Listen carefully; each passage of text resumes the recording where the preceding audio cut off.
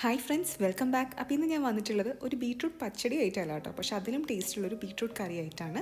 അപ്പോൾ ഇതിനായിട്ട് നമുക്കൊരു പാൻ അടുപ്പത്തേക്ക് വയ്ക്കാം അതിലേക്ക് നമുക്ക് കുറച്ച് വെളിച്ചെണ്ണ ഒഴിച്ചു കൊടുക്കാം. വെളിച്ചെണ്ണയൊക്കെ ചൂടായി വരുമ്പോൾ നമുക്ക് രണ്ട് പച്ചമുളക് വട്ടത്തിലരിഞ്ഞ് ചേർത്ത് കൊടുക്കാം. അതിന്റെ ഒപ്പം തന്നെ കുറച്ച് കറിവേപ്പിലയും കൂടി ചേർത്തിട്ട് ഒന്ന് ഇളക്കി കൊടുക്കാം.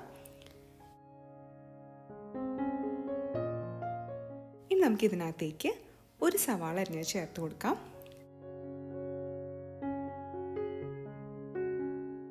സവാളയൊക്കെ പെട്ടെന്ന് വാങ്ങിയിട്ടാനായിട്ട് കുറച്ച് ഉപ്പ് നമുക്ക് ചേർത്ത് കൊടുക്കാം.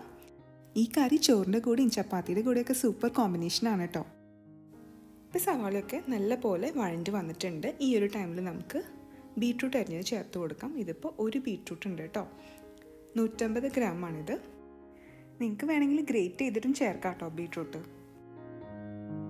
നമുക്കിതൊരു അഞ്ചാറ് മിനിറ്റ് മീഡിയം ഫ്ലെയിമിലിട്ടിട്ട് നന്നായിട്ട് ഇളക്കി കൊടുക്കാം. അപ്പോഴേക്കും ബീട്രൂട്ടൊക്കെ നല്ല പോലെ കുക്കായി വരും.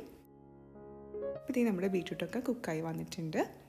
ഇനി നമുക്ക് ഇതിനകത്തേക്ക് ഫ്ലെയിമൊക്കെ ഓഫ് ചെയ്തിട്ട് രണ്ട് കപ്പ് ഒട്ടും പുളിയില്ലാത്ത നല്ല കട്ട തൈര് ചേർത്ത് കൊടുക്കാം. എന്നിട്ട് മിക്സ് ചെയ്യാം. അപ്പോൾ നമ്മുടെ വീഡിയോസൊക്കെ നിങ്ങൾക്ക് ഇഷ്ടമാണെങ്കിൽ നമ്മുടെ ചാനൽ സബ്സ്ക്രൈബ് ചെയ്യാൻ മറക്കരുത് കേട്ടോ. അതിന്റെ തൊട്ടടുത്തുള്ള ബെൽ ബട്ടൺ കൂടി പ്രസ് ചെയ്യണേ. അതിൽ ഓൾ എന്നുള്ള ഓപ്ഷൻ ക്ലിക്ക് ചെയ്താൽ മാത്രമാണ് പിന്നീട് വീഡിയോസ് ഇടുമ്പോൾ നിങ്ങൾക്ക് നോട്ടിഫിക്കേഷൻസ് കിട്ടുള്ളൂ. ഞാനിപ്പോൾ ഇതിനകത്തേക്ക് ഒരു കാൽ ടീസ്പൂൺ പഞ്ചസാര ചേർത്ത് കൊടുക്കുകയാണ്. അപ്പോൾ ചില ബീട്രൂട്ട് നല്ല മധുരം ഉണ്ടാവും. അപ്പോൾ അങ്ങനെയാണെങ്കിൽ പഞ്ചസാര ചേർത്ത് കൊടുക്കേണ്ട ആവശ്യമില്ല കേട്ടോ. അപ്പോൾ നമ്മുടെ കറി ഇവിടെ റെഡി ആയിട്ടുണ്ട്.